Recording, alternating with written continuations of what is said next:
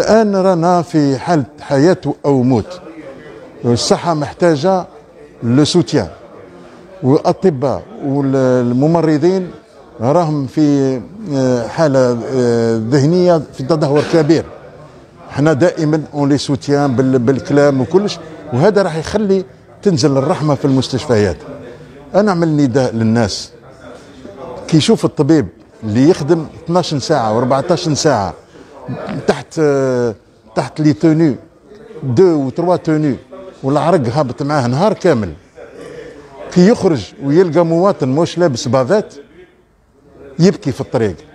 يقول لك وعلاه قاعد أنا نضحي كما هكا وهذا المواطن هذا غير مقبول. أنا نقولها المتحمل المسؤوليه غير مقبول normalement اللي ما يلبس bavette يتهز يتحط في الحبس.